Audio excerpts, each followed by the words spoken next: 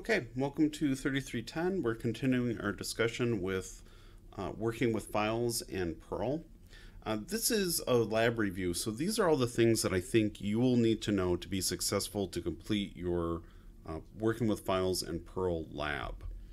So what I want to talk about are just this, this idea with, um, again, our Perl template uh, I want you to be able to set up some variables in the Perl lab.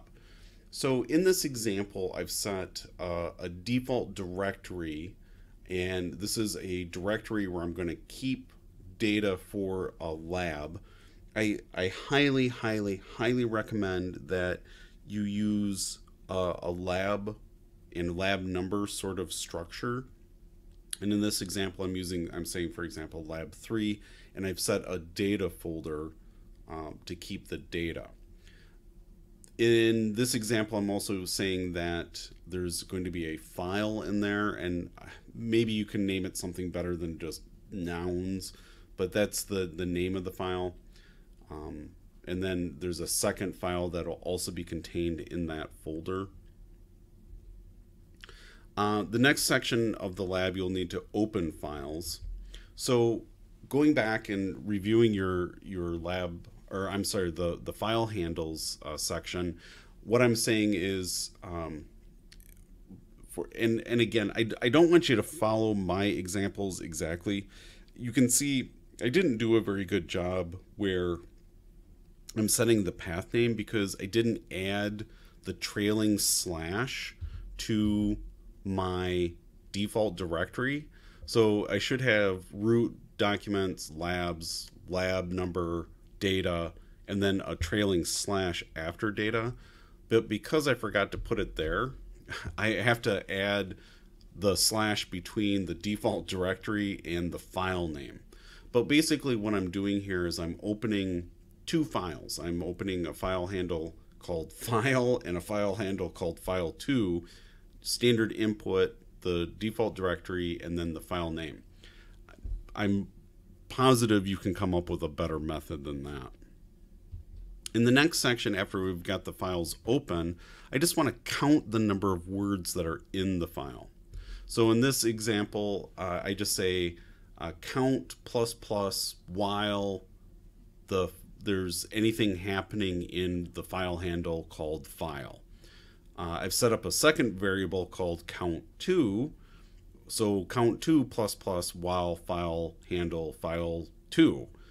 Uh, again, I, I, sincerely hope you'll you'll be able to come up with um, better variable names and syntax. Uh, then, of course, when you're done working with files, make sure that you close the file handles. So what that'll do is that'll give you a count of the number of words that are in each of those files um, as listed here. Uh, you can also see in my variable section, I probably should have set um, variable count and count to equal to zero, which will initialize those variables. Okay, so we count the words, we close the files. Now we want to put all those um, words from the files into an array so we can work with those uh, and randomly select some of those words. So what I'm doing here is I'm opening uh, the file handle.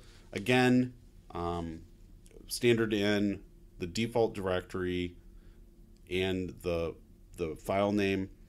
And I'm setting a new array. So the entire array is equal now to that file handle. So what this is doing is setting an array called an array nouns that's equal to um, the file handle file. So it's it's literally opening that text file and putting the contents of that text file into that array. Of course, you want to close the file when you're done again. Uh, I do the same thing for the second text file called agent nouns. Uh, again, close those files. I've already closed them here. Just make sure that you close the files when you're done using them. Um, here's a method for, um, say you want to just, you'll want to print how many words are in each of those file handles. So I'm saying print, there are count variable words in the variable that is the file name with a new line. um, do the same thing for the second file. Here's a, a different method that you could use. Um, this is using the concat con concatenation. So you say there are um, the scalar of the entire array. So there are, or I should say print, quote, there are plus the scalar of the entire array nouns, which gives me basically in a number that is the length of the array, plus, quote, words in variable name nouns, which is the file name, and then a new line.